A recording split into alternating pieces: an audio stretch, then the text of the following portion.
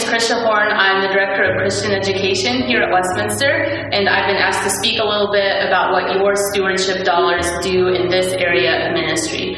First of all, it's always our goal here to provide lifelong learning opportunities uh, so from the youngest all the way up to the oldest, uh, there's always more to learn, always ways that we can deepen our faith. Now, of course, we deepen our faith in many different ways worship, service, art, uh, and also through educational opportunities, which is what I'm talking with you about today. Big news, our learning opportunities have gone hybrid over the past year and a half. As much as we love to come together and learn and grow together, we know that that's not always possible. So we have options for people to do at home, together in person, and everything in between.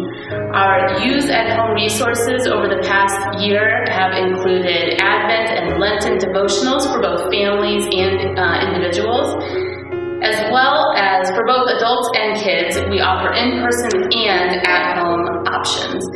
For example, although thank goodness we are now back to offering in-person Sunday school for our kids, we continue to provide weekly at-home resources as well.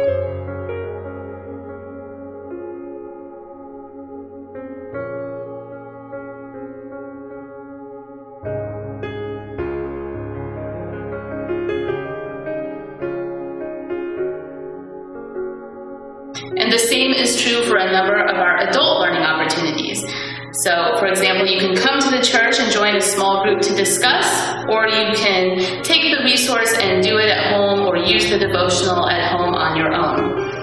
Our latest technological success allows small groups to meet in person and over Zoom all together at the same time in a true hybrid learning environment. At the same time that we've been juggling all of this, we've also been exploring ways to make traditional adult learning more hands on or appropriate to a wider age group.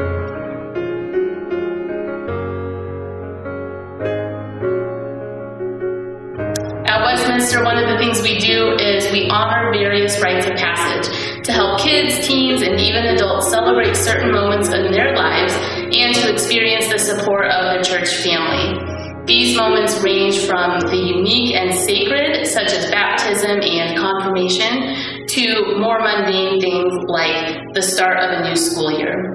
We give gifts at these times as a congregation to our families to take home with them and help them connect with faith at home through music, Bibles, books, and simple objects that serve as reminders of how much God loves them and how much Westminster cares for and supports them. Besides these ongoing growth opportunities, we also sponsor a number of special events throughout the year. These events, many of which are long-standing traditions, have become sort of anchors in people's Christian lives. So they line up with the church calendar. Um, therefore, we have our Advent craft event, our Christmas pageant, our Easter egg hunt, and our newly added Pentecost party for our kids. These events are fun highlights and often serve as outreach to the wider community.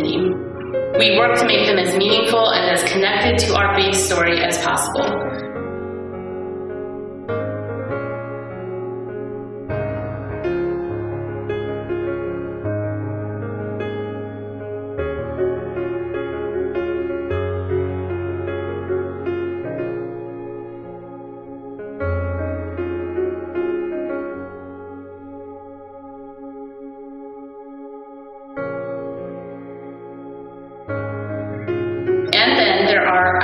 Ordinary time events, our summer barbecues and hikes, our Westminster Reads Fiction Group, and Vacation Bible School.